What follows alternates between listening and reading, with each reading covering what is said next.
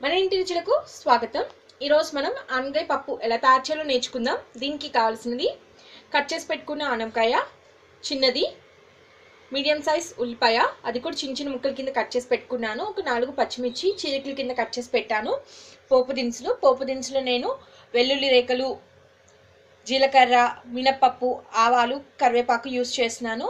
Non పదిహేను నిమిషాల ముందు నానబెట్టి పెట్టుకున్న కందిపప్పు రుచికి సరిపడా ఉప్పు పావు టీ స్పూన్ పసుపు చిటికెడు ఇంగువ. ఇప్పుడు దీన్ని ఎలా తయారు చేయాలో ఇప్పుడు చూద్దాం. త్రీ లీటర్స్ ప్రెషర్ కుక్కర్ పెట్టుకుని దాంట్లో one two two teaspoons oil పోసి వేడెక్కనివ్వాలి. ఆయిల్ వేడెక్కిన తర్వాత ఉల్లిపాయలు పచ్చిమిరపకాయలు వేసి వేయించుకుందాం.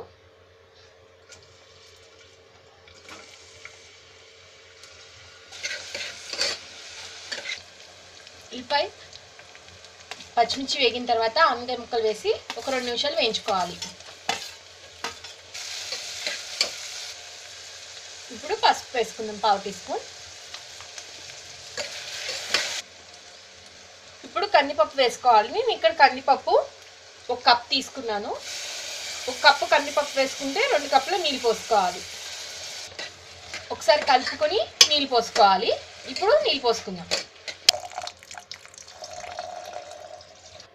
ఇప్పుడు మూత పెట్టుకుని విజిల్ కూడా పెట్టుకుని మూడు విజిల్స్ వచ్చిన తర్వాత స్విచ్ ఆఫ్ చేసి తాలింపు పెట్టుకోవాలి. మూడు విజిల్స్ వచ్చేసాయి. స్టవ్ కూడా ఆఫ్ చేస్తాను. ప్రెషర్ కూడా పోయింది. ఇప్పుడు మూత ఓపెన్ చేసి చూద్దాం.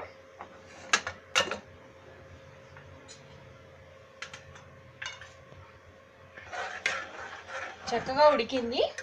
ఇప్పుడు రుచికి సరిపడా ఉప్పు వేసుకుందాం. మళ్ళీ ఒకసారి స్టవ్ ఆన్ చేసి తాలింపు కట్టి పెట్టుకుని దాంట్లో టూ టీ స్పూన్స్ ఆయిల్ పోసి వేడెక్కనివ్వాలి. ఆయిల్ వేడెక్కిన తర్వాత చిటికడి ఇంగువ వేసుకుందాం. ఇంగువ ఫ్రై అయిన తర్వాత తాలింపు వేసి వేసుకోవాలి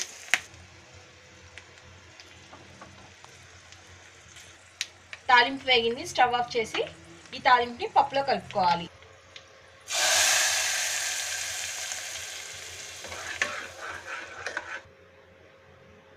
ఎంతో రుచికరమైన అనగాయ పప్పు రెడీ అయిపోయింది.